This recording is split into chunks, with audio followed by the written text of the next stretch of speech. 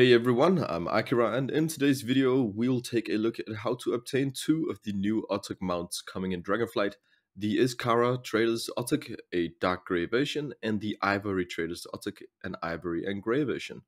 Both of these mounts can be bought from a vendor in Iskaara in the Azure Span right here. However, there's a small catch, they need specific items to be bought. You can actually buy them with gear, that's right, gear from dungeons and raids. The Ivory Trader's Ottuk can be bought for three items the Thunderous Downburst Ring, the Unstable Arcane Loop, and Platinum Star Band. All of these items have two things in common they're all rings and they all drop from dungeon bosses. The Thunderous Downburst Ring drops from the second boss in the dungeon Nokhud Offense, the Raging Tempest. The drop chance is unknown to me, but there's nothing that seems to suggest that it doesn't share the same drop chance as any other gear in the dungeon. The second ring, the Unstable Arcane Loop, drops from the first boss in the dungeon, the Azure Vault, Leymor. And the third ring, Platinum Star Band, drops from the first boss in the dungeon, Algeth'ar uh, Academy, called Vexamus. Once you've acquired all three rings, you can simply purchase the Ivory Traders Ottuk straight from Tattukiaka and Iskaara. The item level of the rings doesn't matter at all, so you can farm the rings in both normal, heroic, and mythic. You can even farm them as you level through the Dragon Isles. I tested it using a 251 ring that I got when leveling, and it also does not matter whether they have a socket or anything. So any version of any of the three rings matter. It doesn't matter if you have like one heroic, one mythic, and one normal. That's fine. The items needed to purchase the other otter is two epic necks, and they both drop from the new raid, Vault of the Incarnates.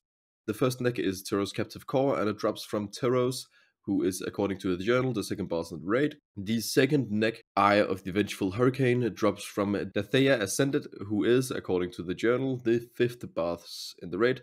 I'm assuming the difficulty and eye level doesn't matter for these items. However, I haven't had access to the raid and I haven't tested it, so I cannot be sure. But I kind of assume it works the same way as with the Ivory Traders Ottuk, right?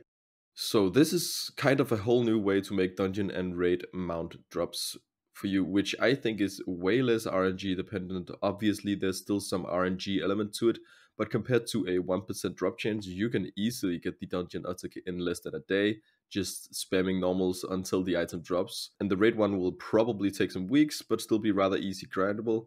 The only effect is that you'll have group loot back in raids, and everyone will be needing on the next whenever they drop as soon as they know that you can get a mount from it. So you'll have to roll against pretty much everyone in the group.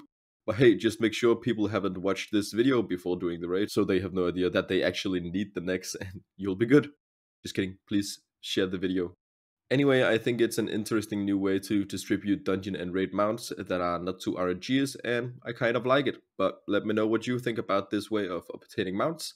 And that's it for this video. Thank you very much for subscribing my video. Please consider leaving a watch, like or dislike. And if you wish to support my channel even more, you can get me a coffee via the link in the description. And as always, have a wonderful day. Bye.